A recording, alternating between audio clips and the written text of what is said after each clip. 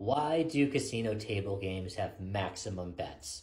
In my last video, I answered why they have minimum bets, but this is a little bit more complicated. I was playing blackjack with a friend of mine, and he was going on a bit of a run, and he was betting $25 a hand, and next thing you know, he slaps down a $1,000 bet, and the dealer points to the sign and says, sorry, it's a $500 max.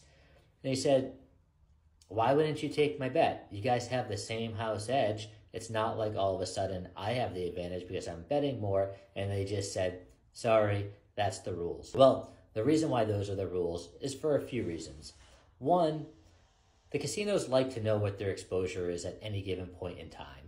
So they can look at any pit and they know what the minimum and maximum bets are, and they know that somebody's not going to throw down a $50,000 bet and they are going to be caught off guard. Casinos have strict rules about how much cash they need to keep on reserves to make sure that they can pay people who win. With them being able to know how much people can bet, it allows them to understand what their maximum exposure is at any given point in time.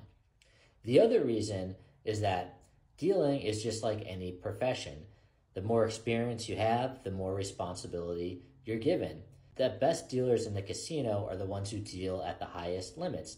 That's because they can deal the fastest, they know what to look for uh, on behalf of the casino, and they also know how to make it an enjoyable experience for some high rollers.